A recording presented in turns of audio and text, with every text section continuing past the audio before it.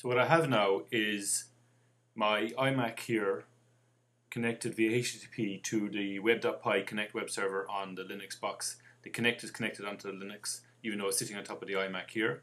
And I've got a Java program here that makes web client calls over to that web.py server and pulls down the data. So there's actually no image data being brought onto the iMac.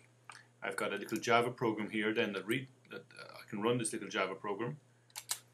And if I join the match, so there, that's me. I have my weapon of choice, my Hurley. So now I can start moving around.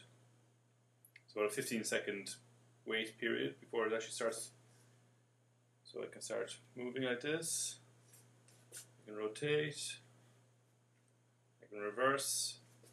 I can rotate this way.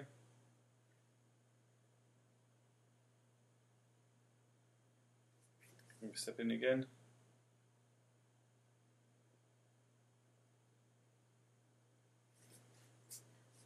reverse again. And the gains are a little bit off, or actually quite a bit off, so that um, the rotation can be quite slow.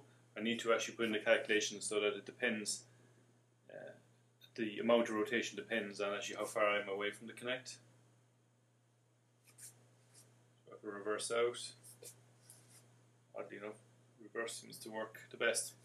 So that's it. There's a certain amount of control, it's still quite limited, but it's getting there. It'll be interesting to see what, uh, what can be done with it.